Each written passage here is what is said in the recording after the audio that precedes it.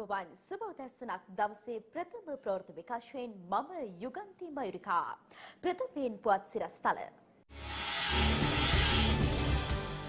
ශ්‍රී ලංකාවේ ඉන්දීය මහකොමසාරිස්වරයා සහ අගමැති අතර හමුවක්. කුවේට් ඇතුළු මැදපෙරදිග රටවල අසරණ වී සිටින ජනතාව කෙරෙහි ආණ්ඩුව සක්‍රියව මැදිහත් විය යුතුයි. සජිත් කියයි. බ්‍රිතාන්‍ය කොරුණා වෛරස ආසාදිතීන් සුව කරන බෙහෙතක් සොයාගනී. ආසාදිතීන්ට එන්නත් ලබා දීමත් අරබයි. ශ්‍රී ලංකාවේ ඉන්දිය මහකොමසාරිස්වරයා සහ ග්‍රාමාත්‍ය මහින්ද රාජපක්ෂ මහතා අතර හමුවක් අරණියකහ මන්දිරයේදී පැවැත්වුණා.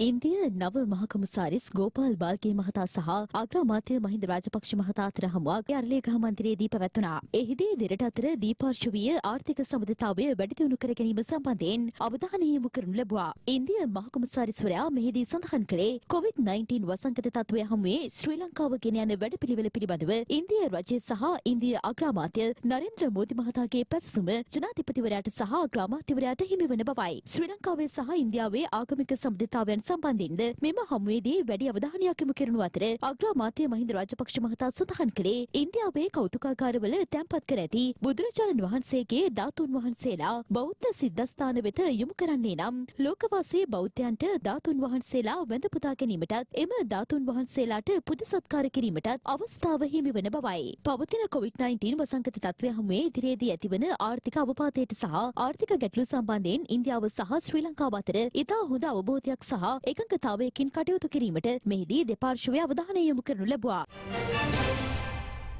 කුවේට් ඇතුළු මැද පෙරදිග රටවල අසරණ වී සිටින ජනතාව කෙරෙහි ආණ්ඩුව සක්‍රිය මැදිහත් වීමක් සිදු කළ යුතු බව සමගි ජන බලවේගයේ නායක සජිත් ප්‍රේමදාස මහතා පවසනවා.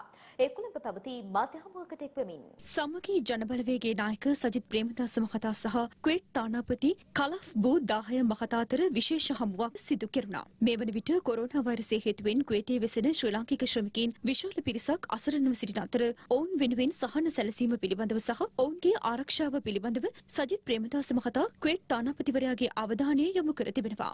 මෙම හමුවෙන් අනතුරුව සමගි ජනබලවේගේ නායක සජිත් ප්‍රේමදාස මහතා මාධ්‍ය හමුවක් ඇඳවා තිබුණා. කුවේට් රටේ ජීවත් වන ශ්‍රී ලාංකීය ජනතාව මුහුණ දෙන ඛේදනීය ප්‍රශ්නය පිළිබඳව පුළුල් ලෙස අද කුවේට් රට නියෝජනය කරන තානාපතිවරයාත් සමග මම සාකච්ඡා කරා. විශේෂයෙන්ම දසදහස් ගණනින් අපේම රටේ ප්‍රජාව කුවේට් රටේ අන්ත අසරණ භාවයට පත් වෙලා සිටිනවා. ඒ අයට තානාපති කාර්යාලය හරහා ලැබෙන්නා වූ සහයෝගය ඊ타මත්ම අවම මට්ටමකයි තිබෙන්නේ. අපේ රටේ තානාපති කාර්යාලය මේට වැඩිය සක්‍රියව ප්‍රායෝගිකව ශක්ති සම්පන්න රැකවරණයක් අපේ රටේ ජනතාවට ලබා දෙන්නට ඕන. කුවේට් රටේ අපේ තානාපති කාර්යාලය ඉතාමත්ම මන්දගාමීව අලස ලෙස අපේ රටේ ජනතාව ආරක්ෂා නොකරමින් තමන්ගේ වගකීම බරපතල ලෙස පැහැර හැර ගිය තත්ත්වයක් නිර්මාණය වෙලා තිබෙනවා.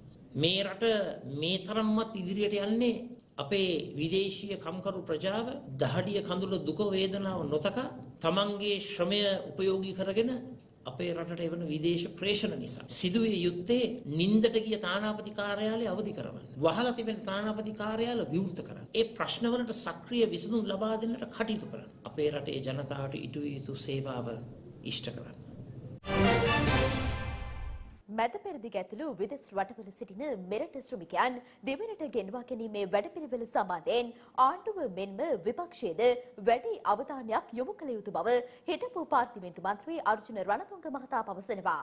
ඒ සිරිකොත පක්ෂ මුලස්ථානයේ පැවති මාධ්‍ය හමුවකට එක්වෙමින්. මම පෞද්ගලිකව හිතන්නේ පාර්ලිමේන්තුව කැඳවීම සහ මැතිවරණයට වඩා මේ කොරෝනා වසංගතය හරහා මැතිවරණයක් ගියොත් මේක මැතිවරණයක් ගියොත් රටේ අපේ මනුස්ස ජීවිත කීයක් නැති වෙයිද මේවා කොච්චර දුරට යයිද කියන එක තමයි ප්‍රශ්න වෙන්නේ. මේ වගකීම කවුද ගන්නේ? මේ මගකීම ගන්න ඕනේ සෞඛ්‍ය අධ්‍යක්ෂක ජෙනරල්තුමා. එතුමා කියන්න ඕනේ මේ මැතිවරණයකට යන්න පුළුවන්. මේ මැතිවරණයකට ගියා කියලා මේ කෝවිඩ් වසංගතය බෝ වෙන්නේ නැහැ. කවුරුත් මැරෙන්නේ නැහැ කියලා ඒ කොළ එළිය අපිට ලබලා දුන්නොත් මං හිතන්නේ මැතිවරණ කොමිසමත් සාමාන්‍යයෙන් දෙන්න ඕනේ දින දින කාල සීමාවක් දෙන්න ඕනේ මැතිවරණය කටයුතු සඳහා ඒ වැඩ කොටස කරන්න ඊට පස්සේ මැතිවරණයකට යන්න පුළුවන්. අද වෙනකොට මේ මැද පෙරදිග සහ අනිකුත් රටවල් වල හිර වෙලා ඉන්නවා ඒගොල්ලන්ට රැකියාවල් නැති වෙලා තියෙනවා. ලොකු කරදර ප්‍රමාණයක මුහුණ දීලා තියෙනවා. ඉතින් ඒගොල්ලන්ව මේ රටට ගෙනව ගැනීමේ වගකීම රජයක් හැටියට රජය බාරගත යුතුයි. ඒක රජය විතරක් නෙමෙයි අපි විපක්ෂයද සියලුම දෙනාම බාරගත යුතුයි. මොකද සමහර කාලවල වලට දැය විරෝ කියනවා එක එක විරුවන් ගැන කතා කරනවා සල්ලි ලබෙනකොට. නමුත් අද අසරණ වෙලා ඉන්නකොට කතා කරන්න කවුරුත් නැහැ. මේ රටට විශාලම මුදල් ලබල දෙන මේ ශ්‍රමිකයන්ව මේ රටට ගෙනියා ගැනීමේ ක්‍රමවේදයක් ඇති කරන්න ඕනේ. දෙවැනිට පැමිණීමට බලාපොරොත්තුවෙන් සිටින සියලු ශ්‍රී ලාංකිකයන් මව්බිමට ගෙන්වා ගැනීමේ කටයුතු ක්‍රමානුකූලව සිදු කරන බව අමාත්‍ය රමේෂ් පතිරණ මහතා පවසනවා. ඒ මහනුවර ප්‍රදේශයේදී මාධ්‍ය හමුවකට එක්වෙමින්. රජය දැනටමත් පන්දහස් පන්සිකට වඩා වැඩි පිරිසක් විදේශ රටවල සිට ශ්‍රී ලංකාවට ගෙන්වාගෙන තිබෙනවා. තවත් පැමිණීමට සිටින බලාපොරොත්තුවෙන් සිටින පිරිස 40000කට ආසන්නයි. කරුණු කිහිපයක් මතුවෙනවා මේ සම්බන්ධයෙන් එකක් තමයි ගුවන් ගමන් පිළිබඳව කාරණය. ගුවන් ගමන් විධිමත්ව සකස් වෙලා නැහැ. ඒ නිසා ශ්‍රී ලංකන් එයාලයින් සමාගම් මගින් විවිධ අවස්ථාවලදී විවිධ රටවල සිටින පුද්ගලයන් ලංකාවට රැගෙන ආවා. එහිදී ප්‍රමුඛත්වය ලබා දුන්නේ විදේශගතව සිටින ශිෂ්‍යයින්ට. දැන් අපි ශ්‍රමිකයින්ට ප්‍රමුඛත්වය ලබා දීලා තිබෙනවා. හැබැයි මගේ ගෙන්වා ගැනීම වැඩසටහන යම් පමණකට අපිට අකර්මණ්‍ය වෙනවා. මොකද මේ පිටරට සිටින අය සමග විශාල රෝගීන් ප්‍රමාණයක් ලංකාවට පැමිණීමේ ප්‍රවණතාවයක් තිබෙනවා. ආසායිතව සිටින පුද්ගලයන් ලංකාවට පැමිණීමේ ප්‍රවණතාවයත් එක්ක යම් පමණකට ඒ වැඩ කටයුතු මන්දගාමී වෙලා තිබෙනවා. ඒත් එක්කම නිරෝධායන සඳහා විශාල පරිශ්‍ර සහ විශාල ප්‍රදේශ අවශ්‍ය වෙලා තිබෙනවා. ඒ නිසා දවස් 14ක නිරෝධායනයකට පිටරටින් ඉඳන් එන සෑම පුද්ගලෙකුම පත් කරන්න අවශ්‍ය නිසා ඉතාම ක්‍රමානුකූලව තමයි ඒක කරන්නට වෙන්නේ. හැබැයි මව්බිමට එන්න බලාපොරොත්තු සිටින සෑම ශ්‍රී ලාංකිකයෙකුම ක්‍රමානුකූලව ශ්‍රී ලංකාවට ගෙන්වා ගැනීමට අපි බලාපොරොත්තු වෙනවා.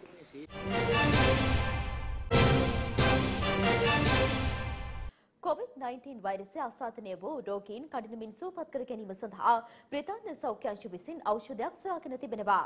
එරට රජය පවසන්නේ මෙම ඖෂධය ලබා දීමෙන් රෝගීන් සුවපත් වීමේ කාලය කඩිනම් වී ඇති බවයි. ලොව පුරා බොහෝ රටවල මේ වන විට COVID-19 වෛරසය මැඩ පැවැත්වීම සඳහා ඖෂධ හා එන්නත් නිපදවීම පිළිබඳ පරීක්ෂණ සිදු කරමින් පවතින අවධියක බ්‍රිතාන්‍ය දැවැන්ත පියවරක් තබා තිබීම විශේෂත්වයක්. ඒ ඉබොලා වෛරසයට භාවිතා කරනු ලබන ඖෂධය COVID-19 වෛරසය ආසාදනය වූ රෝගීන්ට ලබාදීමට තීරණය කිරීමයි. මෙවන විටත් එම ඖෂධය භාවිතා කරමින් ප්‍රතිකාර කිරීම ආරම්භ කර ඇති බවයි බ්‍රිතාන්‍ය සෞඛ්‍ය ලේකම් මැට් හැන්කොක් ප්‍රකාශ කළේ. නව කුරුණා වෛරසය සුවවීමට ඉබුලා වෛරසයට ලබා දෙන ඖෂධය ලබා දීමෙන් දින 11ක පමණ කාලයකින් රෝගීන් සූපත් වන බවයි සෞඛ්‍ය ලේකම්වරයා ප්‍රකාශ කරන්නේ.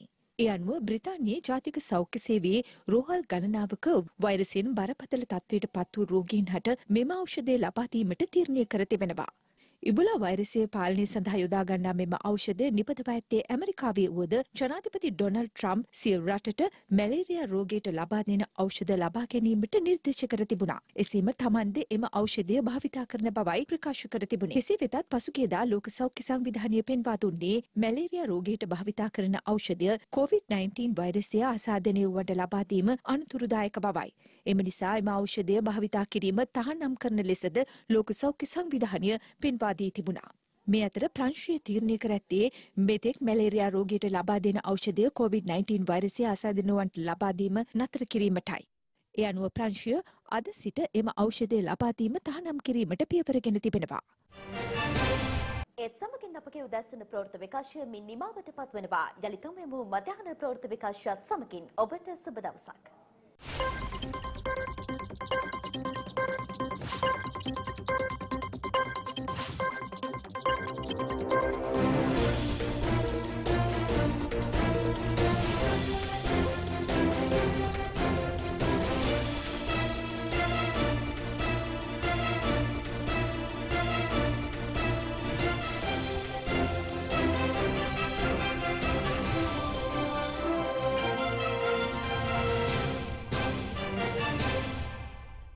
දිනපතා අලුත් වීඩියෝ සහ ප්‍රවෘත්ති නැරඹීමට ඉහත බටන එක කලික් කර සියත TV සබස්ක්‍රයිබ් කරන්න.